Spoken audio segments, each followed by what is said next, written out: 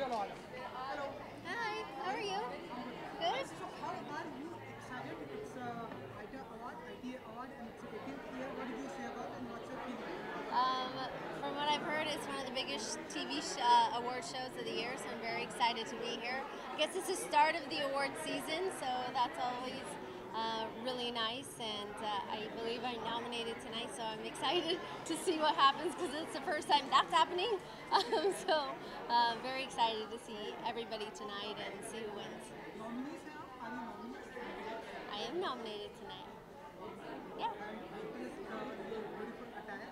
My beautiful attire is made by my dress.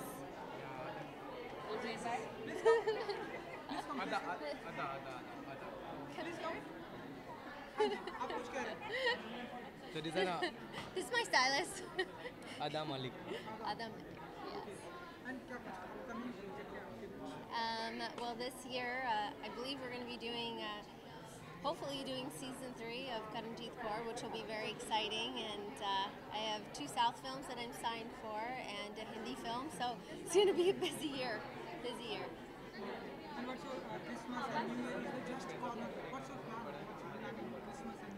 Um, well, our household just celebrated Hanukkah, so happy Hanukkah, everybody. And now on to Christmas. I'm very excited. It's the first year that I get to see my daughter in a Christmas concert singing Jingle Bells.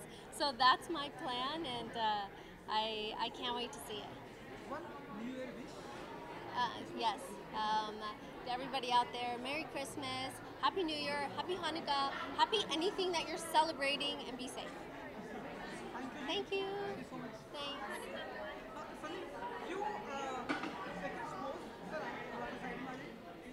careful of the dress, please. Yeah.